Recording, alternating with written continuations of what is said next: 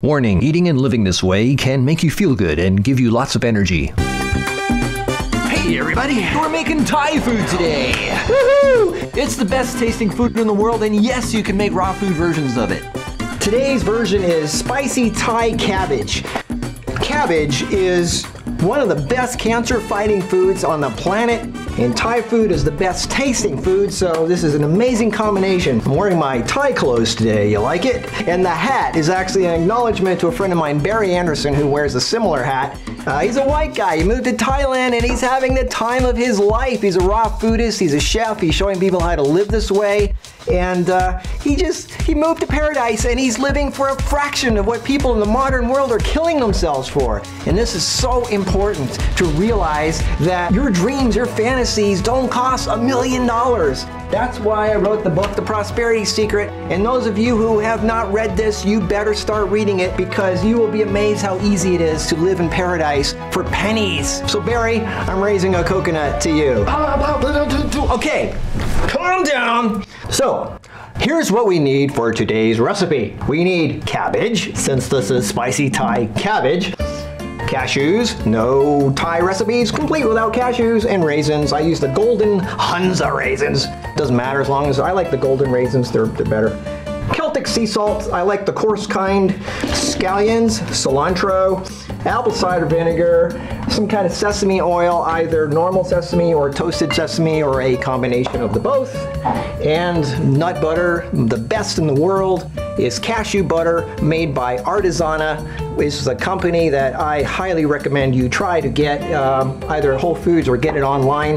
This cashew butter is the best I have ever tasted anywhere, and I've been lots of places. Oh, and some hot, hot, hot chili oil.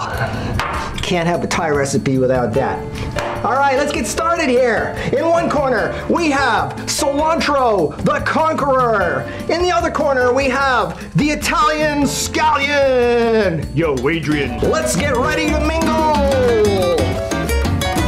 Some people email me and say, why don't you get a better cutting board? You can afford it. Well, the thing I like about these plastic ones is they're bendable, so you can like pour things, you know, like little pieces that can pour them into a little bowl rather than a hard, heavy thing. All right. Do I need to show you how to cut a cabbage? I guess I do. Okay.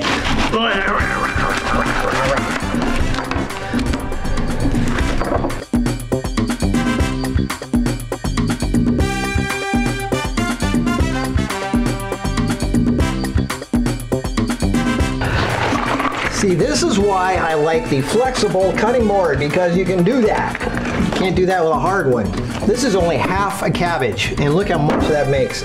I don't know how people can starve in this world when one cabbage can make enough food for half a week. It's the funny scallion people! Calm down, Markus. Don't play with your food. You're a grown man.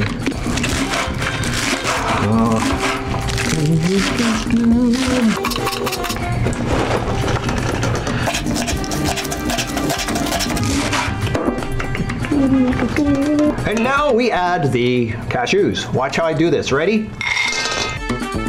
Now we add the raisins. Watch how I do this. Ready? Woo! Now we do the sea salt. Oh, about that much.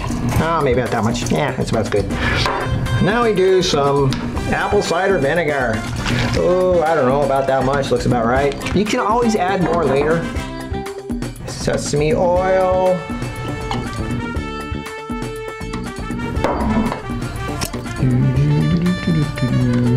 One way to make a sauce is to get your sesame oil, put some in there, and then get your cashew butter, the most awesome butter in the world.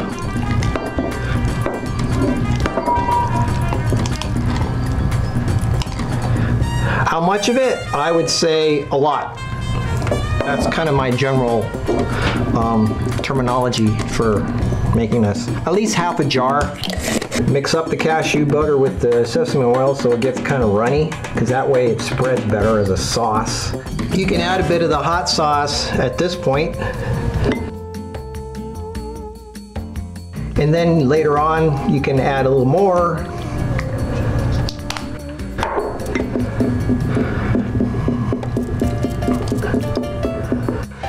gonna be good.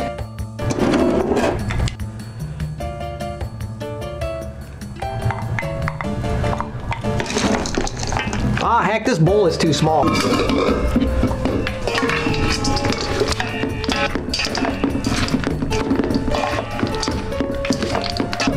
Now this is the part where you taste test and I usually add either a little more sea salt or a little more of the um, hot chili oil because you really want that.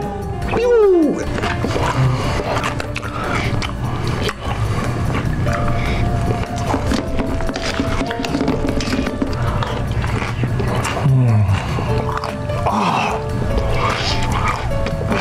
Wow.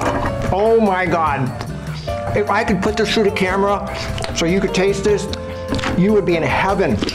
I mean, this is this is right up there with chocolate. This is amazing. All I need is a beach and some raw food, babe in a bikini. Woo! Is, I can't wait for you to try this. Wow. Check it out. You can leave this out all afternoon because there's nothing bad that spoils in it. I would suggest you eat it uh, pretty much that day. I mean, you can you can put it in the fridge. It's just that if you put it in the fridge, the the nut butter and the oils get kind of hard, and it just it's not really the same. But this just fresh. Anything is good fresh. You just got to eat it right away. But I, I swear, if you have a big family, this is going to be gone anyway within like the first 20 minutes. If you want to go to a party and be a big hit, there you go. Once again, this is another recipe from my book, Heal Yourself 101, and it's on page 134, Spicy Thai Cabbage. This book is full of recipes that I'm sure those of you who bought the book haven't even tried yet because you just want to see me make it in person. Uh, you know, you got the recipe, make it. Don't wait for me to show you everything. I can't. I don't I have to live my own life. So, make this and tell, oh, you're gonna, you are gonna, you are gonna, ah, I, I, I don't even know how to say it. It's, wow. Yo, Adrian, I'm gonna go have me some of that.